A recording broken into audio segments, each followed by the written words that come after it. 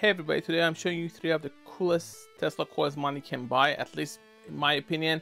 The ones that are in a reasonable range and safe to use. You can use them in a room. There are some large ones that you cannot use in a room if you have other electronics. These, even though they interfere a little bit, if you're close by, they are in general safe. This is a Tesla coil gun. This is the last generation as far as I know. It has this cool handle. You attach that there. That's adjustable power, frequency. You have this knob it has a battery. You press this to activate it. The batteries are replaceable, which is nice. This is, as the name says, Tesla Coil 10. I've covered this in the past. It's a Bluetooth music Tesla coil, the largest version that I could find. You just attach the discharge needle, which you have here, and you're ready to go. Both of these you can touch.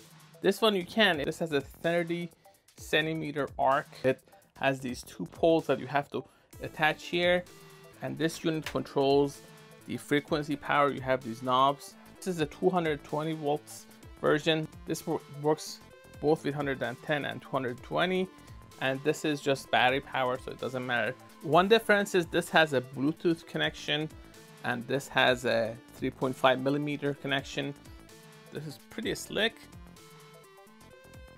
Max you can get you see the music mode is down there and this is the heatsink so everything is in there and just attach it. With this, I just have to screw that in. Goes there. Can even do it with one hand, so it's really that simple. There we go. When you turn it on, it shows you the voltage and then you can just shoot lightning This is how you adjust the frequency, power, you push those buttons. So now I have this, I turn it on. You can see this is the power. It is safe. See, it lights up all these things. I can make this automatic. I can push this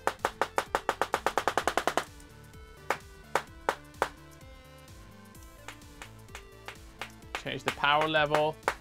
I push that.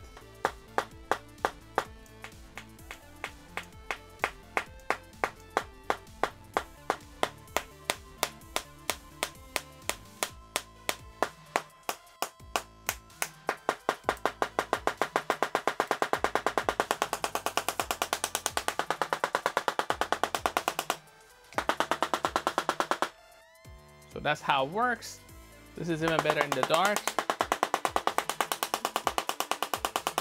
You see, even without hitting that, it still lights up. It will light up.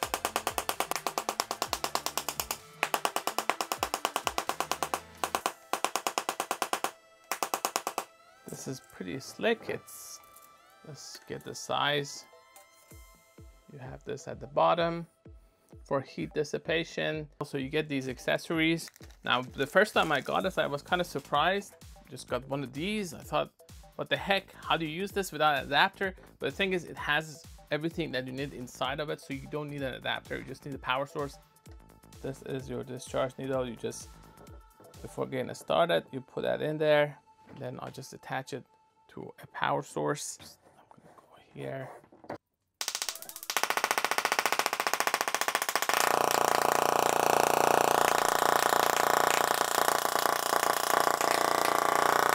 So that's how it works. It is pretty loud and impressive. It's one of the most impressive ones you can buy. If you have to buy one of them that is safe and also impressive, this fits the bill.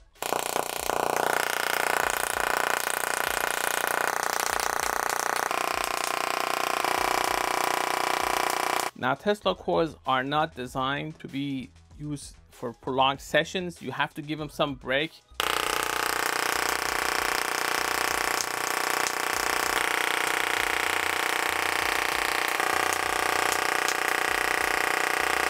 you're wondering, this is a Neon Scepter. Now it's connected to my Tesla Coil 10 Max. You see, it doesn't work as well with the podcast. With this, you have to attach these poles. Just make sure that you do so when it's not connected or anything. This is not advertised as being safe to touch. I never bothered doing it anyway. It really has an impressive arc. Make sure that is pointing that way so the connection between the two poles can be made. This is where you insert and connect that box, the control box through this interface. In the back, the whole not a whole lot is going on. It's just the fans you see. These are the fans that keep it cool. This is a serious Tesla coil, so it's not something that you should treat as a toy. Put this in there. Now that it's secured, it's ready to go. We're going to need connection from this side as well. It requires to be connected to a USB port.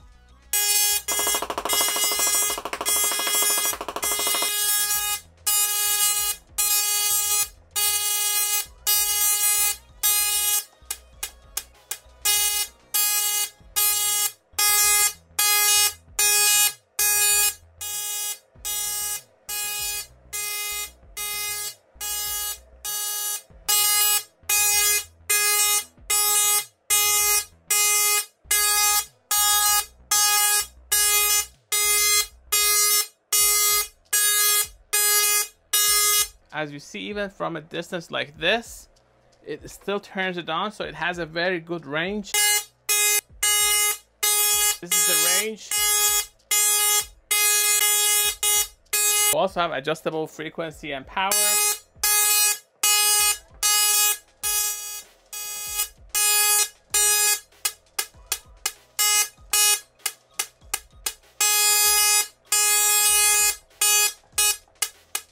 This Tesla coil requires a wired connection. For that, I'm going to have to use one of these, three and a half millimeter audio adapter. So this goes here and the other side goes there.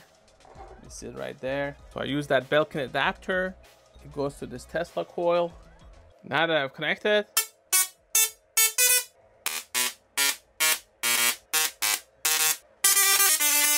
One thing I would say is this thing is pretty loud, so it's very impressive that's about it. Three cool Tesla coils, two of them music. This is Bluetooth. That has the handhold Tesla coil gun. If I had to choose again three Tesla coils to buy, I would buy these three. Maybe we'll see another version of this in the future. I have a larger version that's a little bit old, but it's a 100,000 volt Tesla coil gun. That's not safe to touch. For more information, please go to gadgetify.com. I'm going to include a link in the description. If you like these videos, please like and subscribe. That really helps the channel a lot. Thanks for watching.